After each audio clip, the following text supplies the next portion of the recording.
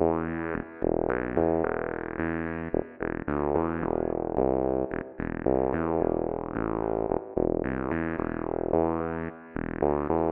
everyone and welcome to this month's computer music synth tutorial and this month we're looking again at the u-he Zebra CM plugin with some really cool things that we can do with formant filtering.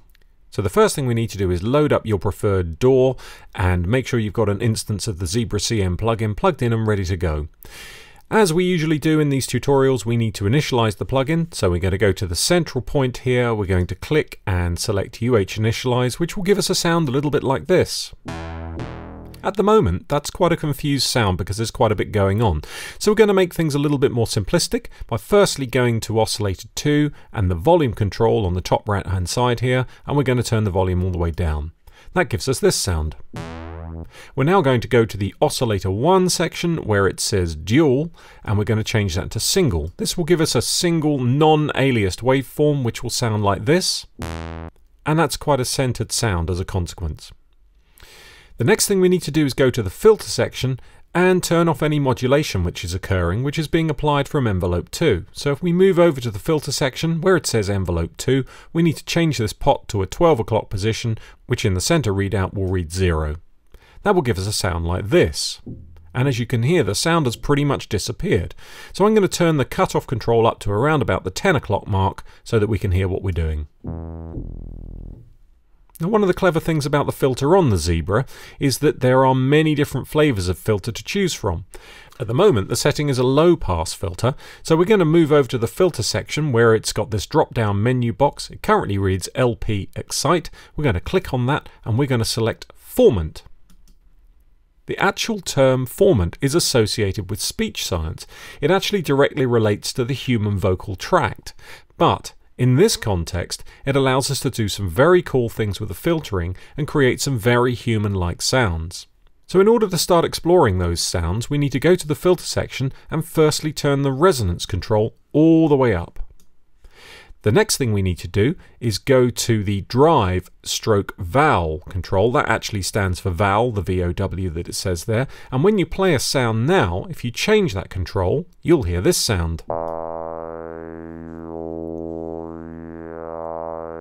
So we're starting to hear all those beautiful vowel sounds emanating from the synth. Now the process we just did there would be really cool if we could play it under some degree of automation.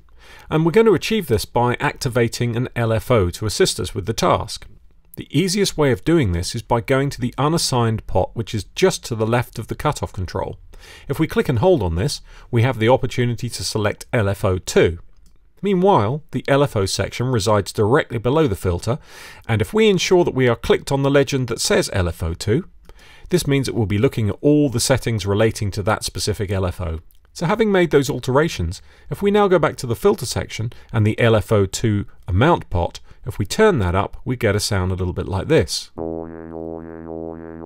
Now the reason we're hearing that sound is because currently in the LFO section you can see the waveform that we have selected is sine wave. If we change the waveform shape to, for example, a saw up, we get this sound. And of course we can select the opposite number which is saw down. Now that in itself is a really cool effect. However, we want to exhibit even more control if we can. So further things that you can address at this point, for example, we have the sync button that's at the top here. It's currently set to quarter note. This relates specifically to the tempo that you have set within your DAW, So if we set this to half note, the speed of the LFO modulation will double. And if we select whole note, it'll double again. We could speed things up considerably by selecting 16th note or 8th note. But for the moment we're going to stick with quarter note because that's just a sensible value to work with.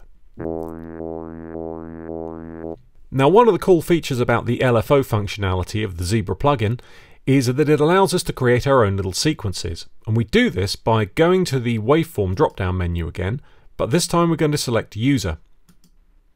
Once we've selected user, you can see on the right hand side of the display, we get all these little nodules and we can click on these and create our own user shape.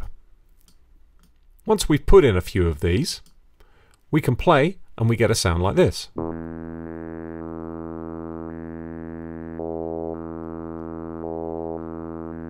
And you can see the LFO actually being stepped through every time you play the note. Now, we will speed things up a little bit at this point. I'm going to change this to eighth note, so we get this effect. And of course, the beauty is, if there's any aspect of this that isn't quite right, you can change it on the fly.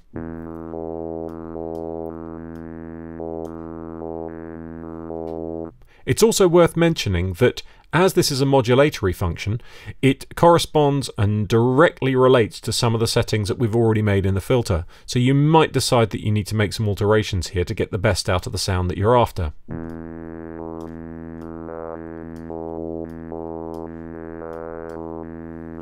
Now that's a really cool feature that we have available to us, but there are some other cool features relating to this step sequencer aspect of the LFO.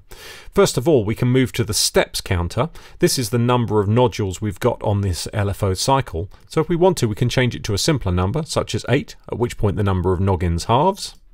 Or we can change it to even fewer if we want to. But for the moment, I'm going to stick with 8.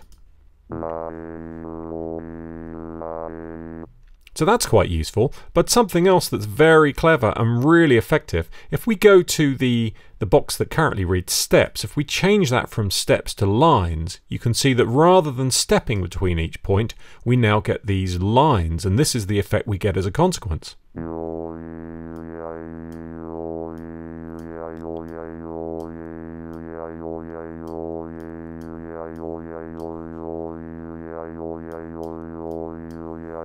And of course, all of this can be changed in real time, so it's quite cool.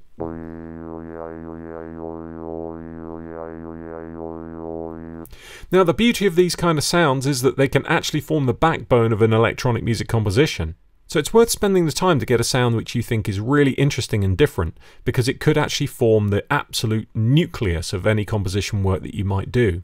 There's something very wonderful about a synthesizer that sounds a little bit like a human voice. So until next month, thanks for watching and we'll see you again.